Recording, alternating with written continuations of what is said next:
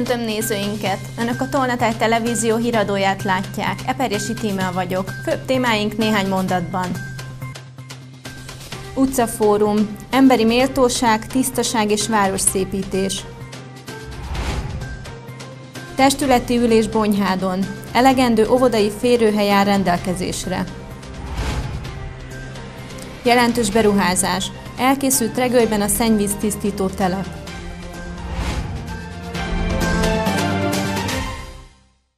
Közös utcafórumot tartott dr. Fusz György és Janó Attiláné, a 7. és 8. választókörzet képviselőjelöltjei kerületeik metszőpontján. A problémák egyediek, a megoldás javaslatok és az erre irányuló tervek pedig konkrétak. Immáron harmadik fórumát tartotta meg mindkét képviselőjelölt. Ezúttal a Kisfaludi és Csengei utca találkozásában a régi játszótér területén gyűltek össze, hogy megvitassák a problémákat. Itt eh, ez egy nagyon érdekes eh, terület, mert, eh, mert igazából olyan, mint a kicsit úgy megállt volna az idő, és, és úgy, ha csak ezt a, ezt a volt játszóteret nézem, akkor itt tulajdonképpen nincsen játék, és inkább van egy-két életveszélyes, kinyúló szög és ilyenek. Tehát mindenképpen itt ez a környezet megérdemli, hogy valami rehabilitációja legyen. Mint azt a jelölt elmondta, a Csikágónak nevezett városrészben sok egyedi problémával szembesült, amelyek egyedi megoldásokat kívánnak.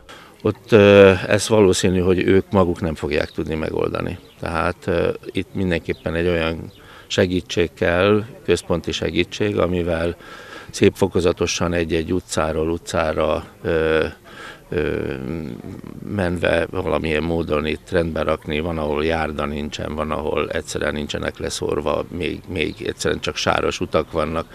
Tehát itt azért ö, ö, azt gondolom, hogy az első, amit ők kívántak, hogy egyáltalán olyan életkörülmények legyenek, ami, ami mondjuk illendő lenne.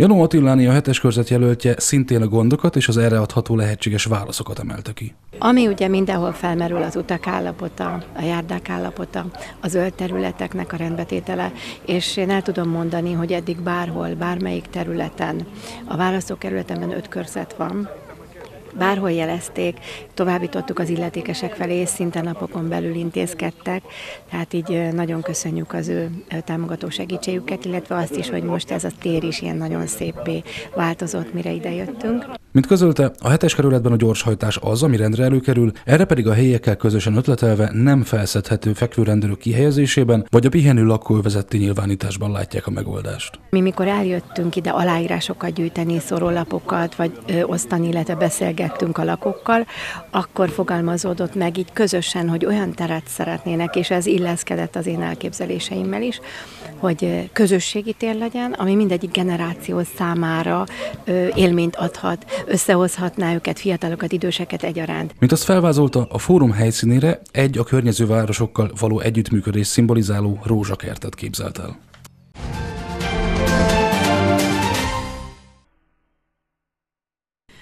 Potápi Árpád János nemzetpolitikáért felelős államtitkárral a Tolna vármegye második számú egyéni választókörzet országgyűlési képviselőjével beszélgettünk.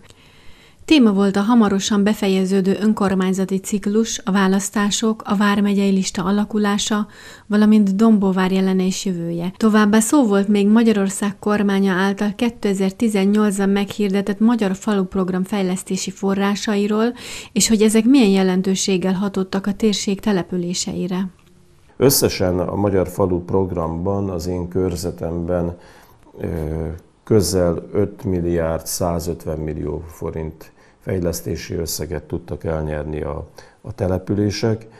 Ez azt gondolom, hogy nagyon sikeres. Szinte nincs olyan település, akik valamilyen pályázaton ne nyertek volna az elmúlt időszakban. Arra is próbáltunk odafigyelni, vagy én különösen odafigyelni, hogy a fejletlenebb településeken élők, illetve azok az önkormányzatok jelentősebb fejlesztési forráshoz tudjanak jutni.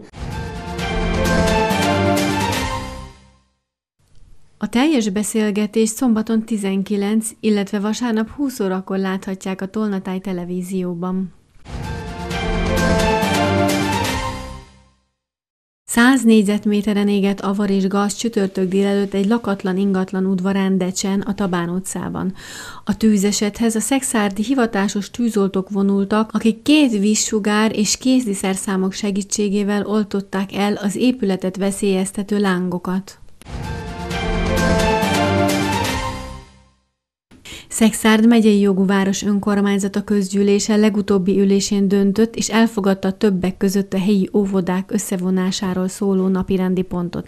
Erről számolt be Máté Péter szexárdi önkormányzati képviselő. Ez azt jelenti, hogy egy vezetője lesz az intézményeknek, és a dolgozókkal úgymond tudja helyettesíteni a másikat. Tehát nem lesz az egyik óvodában most kettő dolgozó táppénzen van, két óvó nem egy táppénzre, és akkor az óvoda nem működésképtelné válik, mert össze tudja vonni, át tudja helyettesíteni, helyezni, tehát egy sokkal jobb működést tesz lehetővé. Képviselőtestületi ülést tartottak Bonyhádon.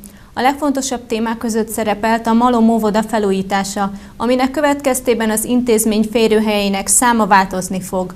Ennek megoldásáról is tanácskoztak. A május végi ülésen olyan fontos témák kerültek elő, mint a Mikes utcai parkolóhelyek létesítése, amelynek kivitelezése a közeljövőben megkezdődik, a lámpatestek cseréje vagy a tavalyi 2023-as évi költségvetésről készült beszámoló. A legfontosabb mégis az óvodai férőhelyeket illető kérdés volt. Nagyon jó hír, hogy Bonyhádon minden kisgyerek felvételt tudott nyerni, tehát az intézménybe mindenkit felvettünk. Egyetlen kivétel csak azért van, egy darab elutasító határozatot azért voltunk kénytelenek meghozni, mert egy adott kisgyerek korai fejlesztésben részesül, és ilyenkor nem létesíthető jogviszony vele. Mint elmondta, Bonyhádon ugyanannyi óvodai csoport indul szeptemberben, mint egy évvel korábban. A különbséget a vidéki tagintézményekben kell keresni, egészen pontosan Váralján, ahol túljelentkezés történt, ezért pedig egyel több csoportot kell indítaniuk. A Malom óvoda felújítása körül még akadnak kérdőjelek, de vezető bízakodó. Az idei évet meg fogja határozni, mármint a 2024-es évet, az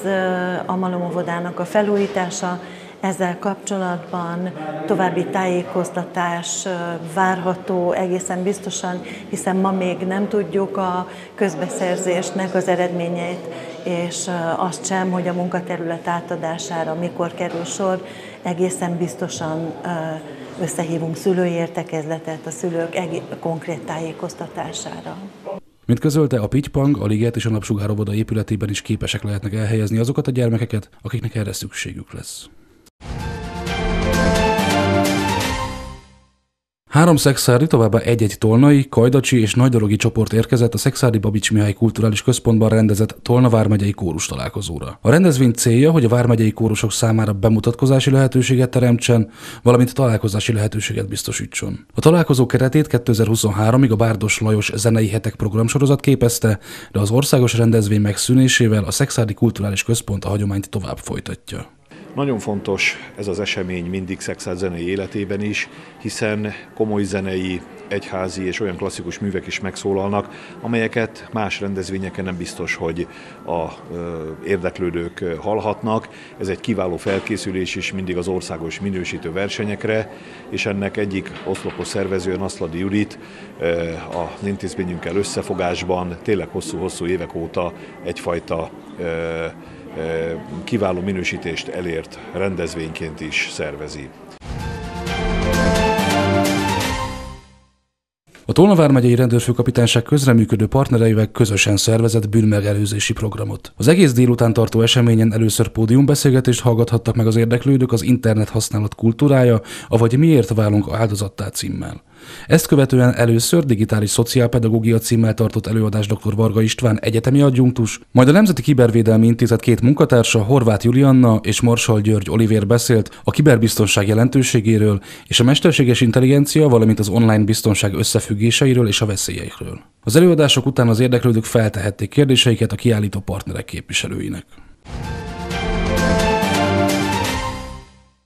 A tamási rendőrök egészségügyi szakemberek segítségével mélyedtek bele az első segélynyújtás rejtelmeibe. Szabó Árki Eszter mentőtiszt és Hollósi Tamás a Tamlab vezetője tartott első segélynyújtó tanfolyamot a tamási rendőrkapitányság munkatársainak. Az oktatók elméleti képzést tartottak, így a rendőrök betekinthettek az újraélesztés, sebkötözés, allergiás rohamokat követő azonnalos ellátás rejtelmeibe. Ezt követően egy balesetet szenvedett személy ellátását szimulálták, majd pedig azt gyakorolhatták, hogy mi a teendő, ha valaki allergiás rohamot kap.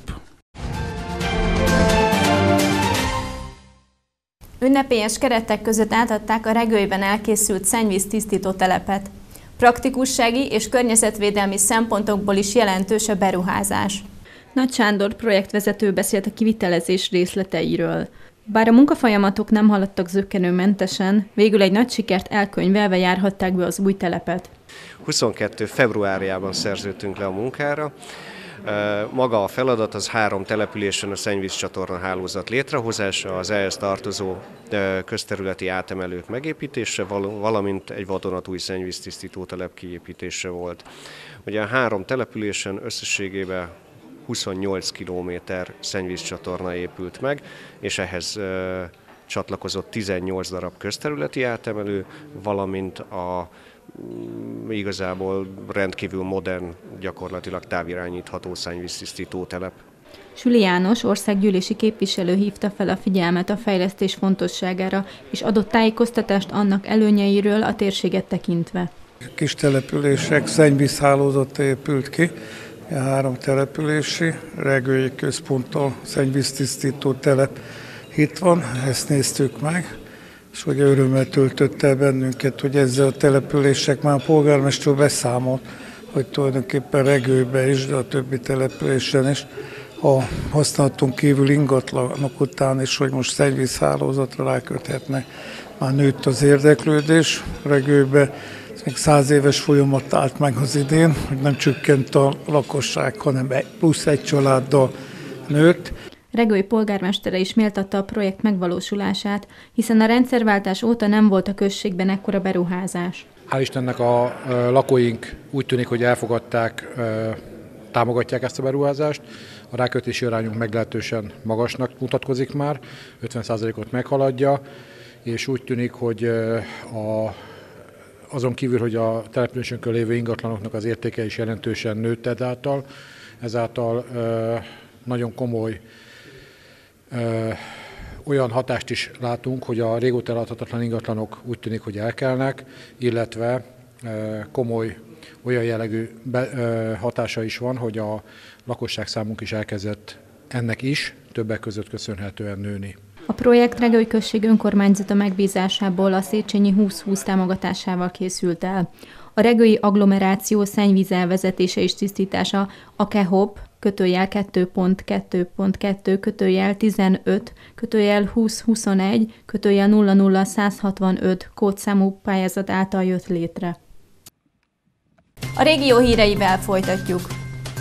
Önálló élet és közösség. Hivatalosan is átadták a fogyatékkal élők társasházát. Robotikában a jövő gyógyulása. 1 milliárd forint értékben fejlesztett a Kaposi Mór Oktatókórház. Elsősegélynyújtó ismeretek fejlesztése a fiatalok körében. Versenyt rendezett a Magyar Vörös Kereszt. Dolgozó és önálló életet kezdő fogyatékkal élőknek készült az a 12 személyes társasház, amit hivatalosan szerdán adtak át Pécset. A szociális ügyekért felelős államtitkár az eseményen elmondta, a kormányzat célja, hogy ilyen kis közösségekben saját lakrészsel kialakított otthonokban élhessenek a fogyatékkal élők. Lakók az asztal körül a Pécsi Berek utcai otthonban. Még márciusban készült ez a felvétel. Ők kezdhettek önálló életet az ingatlanban, annak ellenére, hogy fogyatékkal élnek. Így néz ki Rausberger Éva szobája most májusban. Azt mondja, örül annak, hogy bekerülhetett a házba. Barátokra talált itt. Nagyon kis családias, barátságos lakóközösséget alkotunk, úgy, úgy gondolom, tényleg egy családdal váltunk itt a az elmúlt két hónap alatt. A lakó otthon közelében mindent el tud intézni, nem szorul segítségre. Sokkal önállóbb tudok lenni, és sokkal több lehetőség, van akár a közlekedés szempontjából ügyintézés, tehát hogy mindent uh, igyekszem meg, megoldani egyedül, önállóan. Megáldják a Berek utcai otthont szerda délután a hivatalos átadó napján. A szociális ügyekért felelős államtitkár is részt vett az eseményen. Eldöntöttük azt a kormányzat, Fidesz-KDNP kormányzat, hogy szükséges azokban a helyeken azt a segítségnyújtást megadni, ahol fogyatékos emberek intézményekben laknak, nem a családban, nem a család vigyáz rájuk, ott szakítsunk azzal a régmúltal, ahol nagy intézményekben több száz fős uh, intézményekben próbálták meg elhelyezni ezeket az embereket. Ezért elkezdtük azt a programot, amiben kis lakásokban, maximum 12 fős közösségekben tudnak lakni fogyatékossággal élő honfitársaink. A támogatott lakhatásnak ez a kis közösségi formája jobban megfelel az igényeiknek, mint a nagy intézményi elhelyezés, mondja az államtitkár.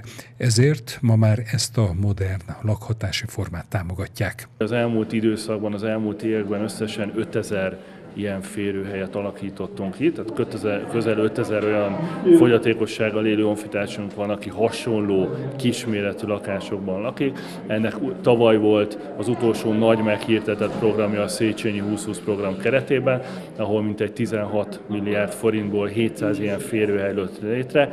Ennek az egyik megvalósítója itt a Kerekvilág Alapítvány, aki ezt a régen nem használt rossz állapotú épület helyett múlt által tette egy elővés helyette itt újra élet van, és fogyatékos emberekre vigyáznak, és ők önálló életet tudnak élni. A Vármegyei elnök azt mondja, a beruházás jó példája annak, hogy meg kell adni a lehetőséget a fogyatékkal élőknek az önálló életvitel kialakítására. Jó példa a közösség számára is, hogyha itt Pécset jól működik, akkor érdemes azon elgondolkodni, hogy a Vármegye nagyobb településein is, ahol van igény arra, hogy támogatott lakhatást biztosító intézményeket hozzunk létre, akkor azokat megtegyük. Én azt gondolom, hogy Pécset ezzel a beruházással itt nem csak egy hiánypótló, fontos célt tudtunk megtenni, de egyben felszámoltuk Kertváros egyik legnagyobb szégyenfoltját itt a Viktória és a Berek utca által határolt területen, hiszen eznek, ez az ingatlan helyén korábban hajléktalanok jártak ki be, olyan állapotok voltak, amelyre több mint tíz éve panaszkodtak a kertvárosiak, ezt most sikerült felszámolni és egy szép új funkciót adni az ingatlannak. Erre azt gondolom minden pécsi büszke lehet. A Kerekvilág Alapítvány kezdeményezte a fejlesztést, és most a szervezet tulajdonában működik a ház. Az egyszobás, közös fürdős lakrészeket, mint albérleti ingatlanokat kapják meg a jelentkezők, akik csak a közözemi számlák fizetésébe szállnak be. A beköltözők dolgoznak, így jövedelmük van, ami az önálló életük alapja. Az akadálymentes társasház megépítése összesen 370 millió forintból valósulhatott meg. 1 milliárd forint értékben érkeztek rehabilitációs robotok a Somogy vármegyei Kaposi Móroktató Kórházba. Idén már közel 100 trókos, járászavarral küzdő betegen alkalmazták a robotasszisztált terápiát, így gyorsítva a felépülést. Flexió és extenziót gyakorlunk, ugyanígy mondjuk egy hőlékballon emelkedik, egy lift emelkedik, tehát nagyon sok játékos program van rajta, és és nagyon szeretik a betegek, és nagyon gyorsan fejlődnek vele. Jelen programunk létrejöttének oka, hogy az orvostudomány egyik jövőben mutató területe a kutatásokat, innovációt magába foglaló és azt high technológiával ötvöző, a betegek életminőségét jelentősen javító robotasszisztált terápia egyik hazai fellegvára lettünk, mely nemzetközi szintéren is helyet követel magának. Hogy mit akar a ma még kicsit futurisztikusan hangzó robotasszisztált terápia kifejezés. Napraink a, a rehabilitációban is megjelent a robotasszisztált terápia. Robotok segítségével végzett beavatkozásokat tesz lehetővé, és ezzel a eljárással gyorsabb, pontosabb és hatékonyabb a rehabilitáció, akkor a, akkor a korábbi terápiáknál sokkal jobb életminőséget tudunk elérni és hogy miért úttörő a Kaposi Mór Oktató Kórház szerepe a robotasszisztált terápiában? Intézményünkben 2012 óta zajlanak technológiai kutatások e területen is. 2020 óta pedig a Győri Széchenyi Egyetem kiépített együttműködésének eredményeképpen veszünk részt a virtuális valóság mozgáselemzés területén történő kutatásfejlesztésekben. Felismerve a, kórházi, a kórház innovációs lehetőségeit és kompetenciáit, 2021-től külső cégek is csatlakoztak az együttműködéshez, és számos bemutató eszközt helyeztek ki intézményünkben. Munkatársaink exoskeletonokat és 3D mozgás elemző rendszereket teszteltek több betegcsoportban, itt a Kaposimor Oktatókórházban. Tehát ez is elítható, és olyan betegeknek, akiknek a, a, tehát a karját nem tudja mondjuk megtartani, paretikus, nagyon jól lehet a dégóval dolgozni, mert segít megtartani a súlyt. Tényleg abban a szerencsés helyzetben vagyok, hogy nyugodtan tudom mondani, hogy a Kaposi Moroktató Kórház saját erejéből, vagy Tolár doktor beszámol róla, szédüléstorna és egyebek, ezek nem mostani keletűek. Ezek, ezek, ezek lassan tíz éves indulások és kezdeményezések. Elképesztő mozgásanalízis, mozgásanalízis alapján a terápia hatásosságának a változtatása és annak alapján történő megtervezése. Mi valójában a, az egész rehabilitáció, robottechnológia, képi, 3D képi analízis alapja. Valójában az alapja az, hogy ugye tudjuk az anatómiát. Immár 52. alkalommal rendezte meg a Magyar Vöröskereszt a felmenő rendszerű első segélynyújtó versenyt. A Vármegyei fordulón három kategóriában indulhattak azok, akik szerették volna megmutatni tudásukat. A végső nyertest az országos fordulóban szeptember 14-én Kecskeméten hirdetik ki. A Vöröskereszt Baranya vármegyei szervezete minden évben rendez elsősegélynyújtással kapcsolatos versenyeket. Ebben az évben a vármegyei forduló május 29-én volt a Lauber sportcsarnokban, Pécsen. Ez az 52. felmenő rendszerű Baranya vármegyei elsősegélynyújtó verseny. 10 csapatot várunk, az 50 fő, felkészítőkkel együtt jönnek, és megmérettetik magukat elsősegélynyújtó tudásukban, 8 kárhelyszínen, illetve további két állomáson. Az egyiken egy elméleti állomás, illetve egy pihenőállomás, és fontos nekünk ugye az elsősegélynyújtás terjesztése, ismeretének széles körű terjesztése, és reméljük, hogy nagyon jó hangulatban fog telni, és mindenki tanul a mai napból, itt csak nyertesek lesznek ma.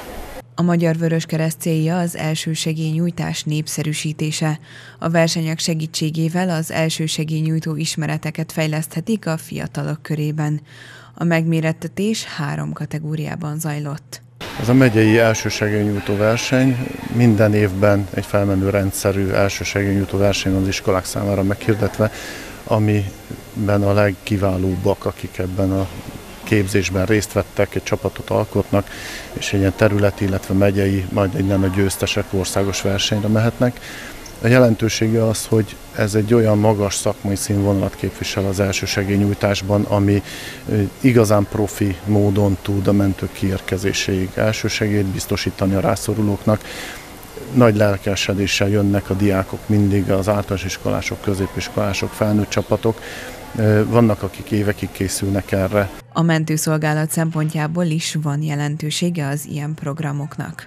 A mentőszolgálat szempontjából viszont az a jelentősége, hogy ők, akik ezt begyakorolták, csinálják, hogyha olyan helyzetbe kerülnek a közterületen, lakáson, iskolában, bárhol munkahelyükön, akkor el tudják kezdeni az elsősegélynyújtást, amíg a mentők kiérkeznek, és nagyon sokszor akár egy sikeres újraélesztésnek a, az eredménye sikeressége azon múlik, hogy akik ott voltak, azok elkezdték, még odaért a mentőszolgálat, akik át tudják venni gyógyszeresen, eszközösen az újraélesztést, hiszen ha addig nem történik semmi, akkor nem sok esély van.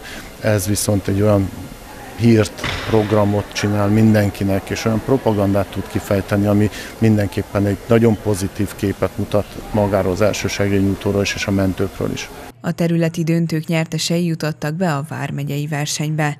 Azok, akik itt jól szerepelnek, jutnak tovább az országos megmérettetésbe. Ezt szeptember 14-én rendezik meg Kecskeméten. Mutatjuk Tolna vármegye híreit még egyszer röviden. Utcafórum, emberi méltóság, tisztaság és városszépítés. Testületi ülés Bonyhádon. Elegendő óvodai férőhely áll rendelkezésre. Jelentős beruházás. Elkészült Regőjben a szennyvíz tisztító telep.